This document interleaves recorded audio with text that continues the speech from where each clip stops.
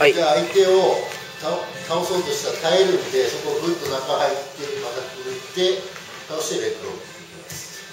でロックして相手が倒そうとしても頑張る。ただ一回この足で中に入って足を外から巻き込んで入れてでそれで倒す。でしっかりこうロックしてグッ